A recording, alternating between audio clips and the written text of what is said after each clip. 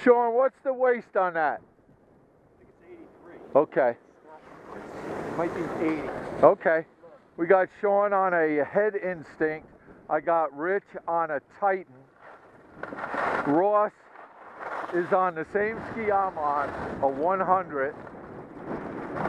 And uh, Ryan's on an 88, I think, in a 184.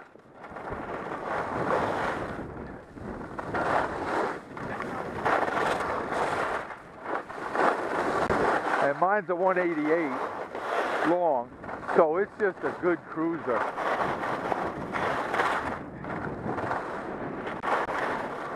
But coming into Drifter, we gotta watch it.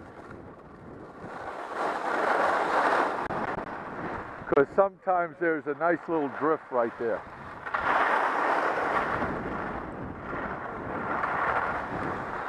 It's a little wind blown. Okay, Ross on the same ski I am.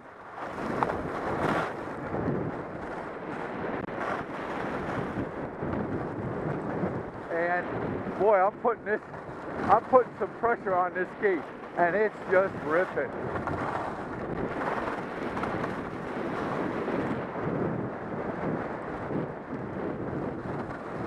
And for a cruiser, 188 is really nice in this 100 CTI.